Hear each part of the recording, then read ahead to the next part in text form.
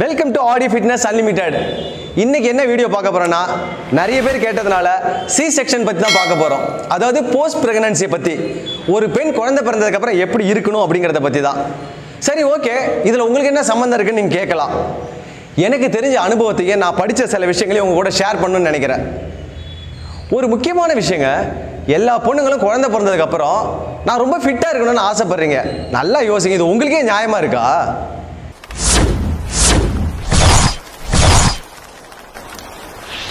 ஐயோ எல்லாம் திட்ட ஆரம்பிச்சிட்டிங்களா? அதுக்கு முன்னாடி நான் ஒரு விஷயத்தை உங்கள்கிட்ட சொல்லிடுறேன். இந்த உலகத்திலே ஒரு பெரிய சாதனை எது அப்படின்னு உங்களுக்கு தெரியுமா? ஒருத்தர் ஆயிரம் முட்டையோ ஒரே நாளில் சாப்பிட்டாரா? அதுதானே. அப்படி அது இல்லைன்னா ஒருத்தர் ட்ரெயினை பல்லால கடிச்சு இழுத்தாராம் அதுவா? அதுவும் இல்லைன்னா ஒரு பொண்ணு ஃப்ளைட்டை தனியாக ஓட்டிட்டு போனாங்களாம். அதுவாக தானே இருக்கும். இது எதுவுமே கிடையாதுன்னா ஒரு சாமியார் தனக்குன்னு தனியாக ஒரு நாட்டையே சொந்தமாக வாங்கிட்டாராம். அதுதானே சொல்கிறீங்க சத்தியமாக சொல்கிறேன் இதெல்லாம் சாதனையே கிடையாதுங்க. உலகத்திலே சிறந்த சாதனை எது தெரியுமா? ஒரு பெண் தாய்மை அடையிறதாங்க. இது உங்களுக்கு எத்தனை பேருக்கு புரியும்னு தெரியல. ஒரு சாதனைன்னா ரெண்டு மணி நேரம் பண்ணுவாங்க அஞ்சு மணி நேரம் பண்ணுவாங்க ஏன் அஞ்சு நாள் பண்ணுவாங்க பத்து நாள் பண்ணுவாங்க இதை சாதனைன்னு சொல்லிக்கிறாங்க. இதெல்லாம் சாதனையே கிடையாதுங்க. ஒரு பெண் அணு அளவு உள்ள உயிரை பத்து மாதம் பார்த்து பார்த்து ரசித்து ரசித்து பாதுகாப்பாக தான் உயிரை கூட பெருசாக எடுத்துக்காமல் இன்னொரு உயிருக்காக பல விஷயங்களை தியாகம் பண்ணி கடைசியாக ஜனனம்னு ஒரு விஷயத்தை பண்ணுறாங்க இல்லையா? இதுதாங்க உலகத்திலே பெரிய சாதனை. இந்த சாதனையை பண்ணவங்கள்ட்டையும் பண்ண போகிறவங்களுக்கு முன்னாடி தான் நான் பேசிக்கிட்டு இருக்கிறேன். ஃபஸ்ட்டு என்னோட பெரிய சல்யூட்டுங்க உங்கள் எல்லாருக்கும். இந்த சல்யூட் எங்கள் அம்மா அக்கா என் ஒய்ஃப் உங்கள் எல்லாருக்காகவும் தான். இவ்வளோ பெரிய சாதனை பண்ண நீங்கள் ஆஃப்டர் ஆல் ஒரு வெயிட் லாஸை போய் ஒரு பெரிய விஷயமா பார்த்துக்கிட்டு இருக்கீங்க. ஒன்று சொல்லட்டுமா? கேரளா காட்டில் என்ன பண்ணுவாங்கன்னா யானையை வந்து பயங்கரமான யானையை பகல் முழுக்க காட்டில் மரத்தை வெட்டி அங்கேருந்து அப்புறப்படுத்துறதுக்கு இங்கேருந்து மரத்தை தூக்கிட்டு அங்கே போவாங்க அங்கேருந்து இங்கே தூக்கிட்டு போவாங்க இதுக்கு பயன்படுத்துவாங்க. நைட் ஆன உடனே என்ன பண்ணுவாங்கன்னா அதை பக்கத்தில் இருக்கிற கூடாரத்து பக்கத்தில் ஒரு குச்சியில் வந்து கட்டி போட்டுருவாங்க. அது காலை இழுத்து இழுத்து பார்த்துட்டு இது நம்மளால் முடியாதுன்னு சொல்லிட்டு அப்படியே நின்று போயிடும் ஏன் அப்படின்னா அதை குட்டியிலே அந்த குச்சியில் கட்ட ஆரம்பிச்சிட்டாங்க.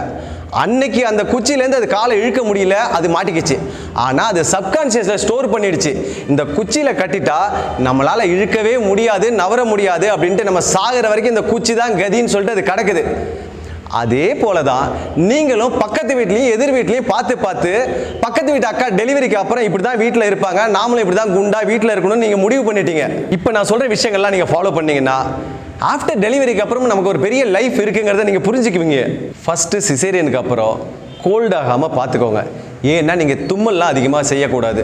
இது வந்து தையல் போட்ட இடத்துக்கு பிரச்சனை ஆகிடும் அதுக்கு என்ன பண்ணலான்னா நீங்கள் வார்ம் வாட்டர் நிறைய எடுத்துக்கலாம்.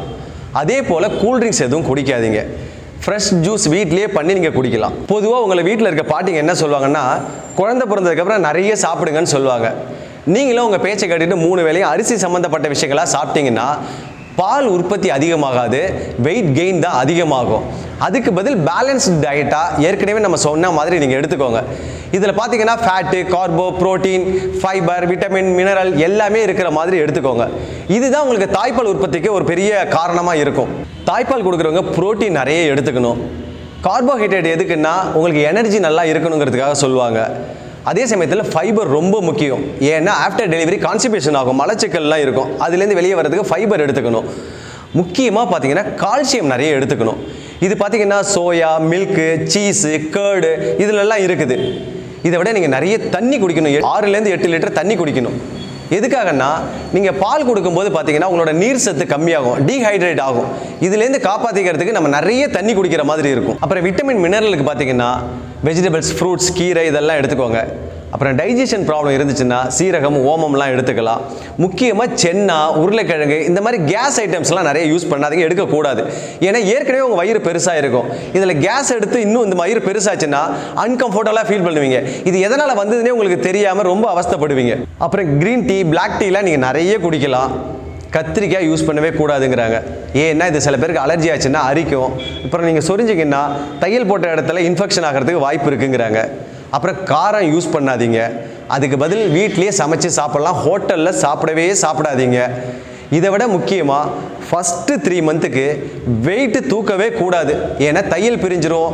அந்த இடத்துல பிரச்சனை வர்றதுக்கு வாய்ப்பு இருக்குது அதுக்கப்புறம் முக்கியமான விஷயம் ஃபஸ்ட்டு த்ரீ மந்த் வரைக்கும் உங்கள் தூக்கம்லாம் irregular-ஆ தான் இருக்கும். நீங்கள் எப்போ படுக்கிறீங்க எப்போ எழுந்திருக்கிறீங்கன்னு உங்களுக்கே கரெக்டாக தெரியாது. இந்த மாதிரி நேரத்தில் நான் வெயிட்டாக இருக்கேன் எக்ஸசைஸ் பண்ணணும்னு யோசிக்கவே யோசிக்காதீங்க. பத்து மாதம் பொறுத்துக்கிட்டு இருந்த நீங்கள் இன்னொரு மூணு மாதம் பொறுத்துக்க மாட்டிங்களா? என்ன? அதே சமயத்தில் ஃபஸ்ட்டு த்ரீ மந்த் வரைக்கும் நீங்கள் படுத்திருந்து எழுந்திருக்கும் போது ஒன் சைடாக தான் படுக்கணும் ஒன் சைடாக தான் எழுந்திருக்கணும்னு சொல்லுவாங்க. நேரடியாக இப்படி படுக்கிறது எழுந்திருக்கிறதெல்லாம் பண்ணாதீங்க.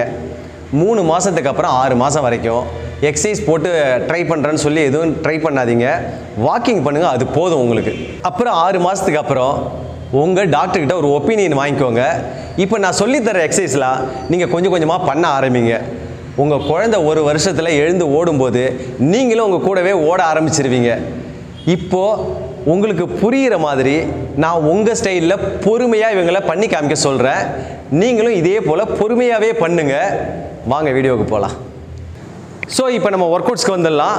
என்னென்ன ஒர்க் அவுட்ஸ் அப்படிங்கிறத ரொம்ப சிம்பிளாக பேசிக்கான விஷயங்களை தான் பார்க்க போகிறோம் இதை நமக்கு பண்ணி காமிக்கிறதுக்கு ராஜி தான் வரப்போகிறாங்க கூப்பிட்டுலாமா அவங்கள? வாங்க ராஜி. ஹலோ எல்லாருக்கும் ஒரு ஹாய் சொல்லுங்க. ஸோ இப்போ நம்ம வந்து அந்த ஃபஸ்ட்டு எக்ஸசைஸ் அதை பண்ணி காமிச்சிடலாமா? ஓகே பொசிஷன்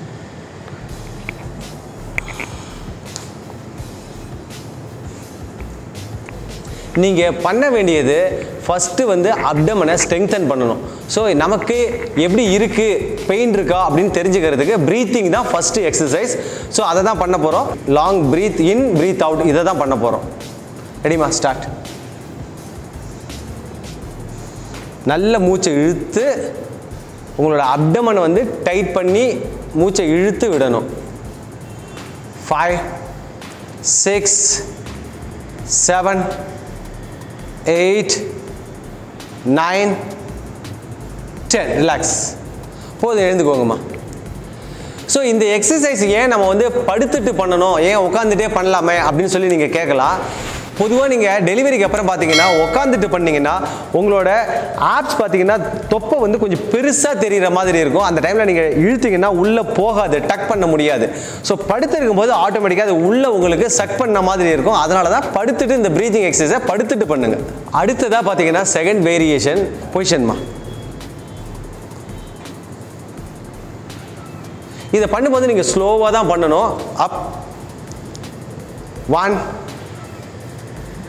டூ த்ரீ இந்த மாதிரி ஸ்லோவாக பண்ணுங்கள் மேலே வரும்போது ப்ரீத் இன் பண்ணுங்கள் கீழே வரும்போது ப்ரீத் அவுட் பண்ணுங்கள் மூச்சை இழுத்து பொறுமையாக பண்ணுங்கள் நைன் டென் ரிலாக்ஸ் போதுமா? இதை பொறுத்தளவுக்கு நீங்கள் வந்து ஆஃப்டர் டெலிவரி டைமில் இருக்கிறதுனால ரொம்ப ஃபாஸ்ட்டாக பண்ணாதீங்க. டென் நம்பர்ஸுக்கு மேலே வேணாம். டென் டென்னாக த்ரீ டைம்ஸ் பண்ணிக்கோங்க. பொதுவாக அதுவே போதும் உங்களுக்கு ரெகுலராக பண்ணணும் அவ்வளோதான் ஸோ இந்த தேர்ட் வேரியேஷன் பார்த்தீங்கன்னா ரொம்ப ரொம்ப ரொம்ப இம்பார்ட்டண்ட்டான வேரியேஷன் ஏன் சொல்கிறேன் அப்படின்னா சர்ஜரிக்கு முன்னாடி பார்த்தீங்கன்னா ஸ்பைனில் இன்ஜெக்ஷன் போட்டிருப்பாங்க. அதனால் ஸ்பைன் வந்து எப்போவுமே இந்த ஸ்பைனல் கார்டு தண்டுவடம் வந்து ரொம்ப பெயினாக இருக்கும். அதுக்கான ஒர்க் அவுட்ஸ் அதே டைமத்தில் உங்களை ஆப்ஸும் ஒர்க் ஆகும். இந்த ஒர்க் அவுட் வந்து கேட் அண்ட் கேமல்னு சொல்லுவாங்க. கேட் அண்ட் கவுன்னு சொல்லுவாங்க. பொசிஷன் வந்து காமிங்க. அந்த ஃபஸ்ட் பொசிஷனில் இருங்க. ஸோ இப்போ உங்களோட ஸ்பைன் பார்த்தீங்கன்னா சமமாக நேராக ஹரிசாண்டலாக இருக்கும். கை வந்து ஃபோல்ட் ஆகாமல் ஸ்ட்ரைட்டாக இருக்கணும். லெக் வெர்டிக்கலாக இருக்கணும். இந்த பொசிஷனில் தான் ஃபஸ்ட்டு பொசிஷன் இப்போது கேட் பொசிஷன்னா உங்களுக்கு ஆர்ச் ஆ கேட் பொசிஷன் வாங்கம்மா. ஸ்டார்ட் ஒன் இது camel position two camel cat position so இப்போ கீழே வரும்போது பார்த்தீங்கன்னா கர்வ் ஆகும். மேலே வரும்போது ஆர்ச் மாதிரி வரும். ஸோ இந்த மாதிரி வந்து மாறி மாதிரி பண்ணணும். ரொம்ப ஸ்லோவாக பண்ணுங்க. ப்ரீத் இன் ப்ரீத் அவுட் பண்ணணும். சிக்ஸ் செவன் எயிட் இதை பண்ணும்போது உங்களோட ஆப்ஸ் ஃபுல்லாக நல்ல ஸ்ட்ரெங்தன் ஆகும். நைன் டென் ரிலாக்ஸ்மா ரிலாக்ஸ்மா போதும். ஸோ இது வந்து ஸ்பைனில் இன்ஜெக்ஷன் போடுறாங்க இல்லையா? அந்த பெயின் எல்லாம் ரெக்கவரி ஆகும். இதுவும் த்ரீ டைம்ஸ் நீங்கள் பண்ணணும். இப்போ அடுத்த வேரியேஷன் பார்த்தீங்கன்னா கிட்டத்தட்ட லோயர் கிரன்ச்சஸ் மாதிரி தான் இருக்கும். பட் லோயர் கிரன்ச்சஸ் கிடையாது. ஆல்டர்னேட்டாக லெக்கை வந்து கிரவுண்டில் டச் பண்ணிட்டு போகிற மாதிரி இருக்கும் பொசிஷன்மா ஃபர்ஸ்ட் பொசிஷன் ஆ இந்த மாதிரி வந்து லெக்கை வந்து ரெண்டு காலையும் லிஃப்ட் பண்ணிக்கோங்க. கையால் தைஸை வந்து சப்போர்ட் பண்ணிக்கோங்க ஃபஸ்ட்டு ஆரம்பத்தில் நீங்கள் பண்ணும்போது. ரெடி ஸ்டார்ட் ஒன் கிரவுண்டை டச் பண்ணிவிட்டு மேலே போயிடணும். அவ்வளோதான் ஒரு ஒரு லெக்காக பண்ணுங்க. டூ த்ரீ தைஸை பிடிச்சிட்டே பண்ணுங்க நீங்கள் எப்போவுமே. ஃபோர் ஃபைவ் கொஞ்சம் இது ஸ்ட்ரெங்தன் ஆனதுக்கு அப்புறம் பிடிக்காம பண்ணுங்க. பிடிக்காம ரெண்டு பண்ணி காமிங்கம்மா. ஹேண்ட் சப்போர்ட்டில் ஆ இப்படி வரணும். போதும் போதும் ரிலாக்ஸ் ரிலாக்ஸ் ரிலாக்ஸ் ஸோ இந்த மாதிரி வந்து ஆரம்பத்தில் ஒரு சைடுக்கு நீங்கள் ஃபைவ் நம்பர்ஸ் பண்ணுங்கள் அப்புறம் செவன் எயிட் நைன் டென்னு அப்புறம் இன்க்ரீஸ் பண்ணிக்கலாம். ஃபைவ் ஃபைவாக ஆரம்பிங்க. போத் சைடு வந்து ஃபைவ் ஃபைவ் ஆரம்பித்தா போதும். அடுத்ததாக பார்த்தீங்கன்னா நமக்கு வந்து வெறும் அப்டமன் மசில் மட்டும் வந்து எல்லாருக்கும் பெருசாக தொப்பை மட்டும் பெருசாக இருக்காது. இந்த சைடும் சேர்ந்து தான் ஸ்ட்ரெங்தன் பண்ண வேண்டியிருக்கு. ஸோ அதுக்கான ஒர்க் அவுட்ஸ் தான் இப்போ பண்ண போகிறாங்க பண்ணுங்கம்மா. இது வந்து பிளாங்க் பண்ணுற மாதிரி சைடு பிளாங்க்னு சொல்லுவோம். பொசிஷன் இந்த மாதிரி வந்து கையை சப்போர்ட் பண்ணிவிட்டு பிளாங்க்குங்கிறது லெக்கை ஸ்ட்ரைட்டாக வச்சு பண்ணுவாங்க. ஆனால் நீங்கள் அப்படி பண்ண தேவையில்ல. லெக் இந்த மாதிரி ஃபோல்டு பண்ணி வச்சுக்கோங்க. ஃபோல்டு பண்ணிவிட்டு பொறுமையாக லிஃப்ட் பண்ணி இறக்கணும். ஹிப்பை மட்டும் லிஃப்ட் பண்ணி ஸ்டார்ட்மா பொறுமையாக பண்ணுங்கள் ஒன் இந்த மாதிரி வந்து பொறுமையாக ஹிப்பை ஏற்றி இறக்குங்க. இது உங்களுக்கு ஃபுல்லாக சைடில் தான் ஸ்ட்ரெங்தன் ஆகும். ஃபோர் ஃபைவ் கொஞ்சம் ஸ்ட்ரெங்தன் ஆனதுக்கப்புறம் கையை மேலே வச்சு பண்ணி காமிங்கம்மா. மைய கையை மேலே வச்சு பண்ணி காமிங்க. செவன் எயிட் இது இப்போ ஆரம்பத்தில் வேணாம் நைன் டென் ரிலாக்ஸ் போக போக பண்ணிக்கலாம். ஃபஸ்ட்டு சப்போர்ட் பண்ணி பண்ணுங்க. ஆப்போசிட் பொசிஷன்மா ஸ்டார்ட் ஒன் ஃபைவ் நம்பர்ஸ் மட்டும். டூ த்ரீ ஃபோர் ஃபைவ் போதும். நிப்பாட்டிக்கோங்கம்மா. ஆரம்பத்தில் நீங்கள் ஒரு பக்கத்துக்கு வந்து ஃபைவ் ஃபைவ் பண்ணால் போதும். போக போக இன்க்ரீஸ் பண்ணிக்கலாம். இந்த வேரியேஷனை பொறுத்தளவுக்கு ஒரு ஒரு புஷ் பண்ணுற மாதிரி இருக்கும். ஆல்டர்னேட்டாக கிராசிங்கில் புஷ் பண்ணுற மாதிரி இருக்கும்.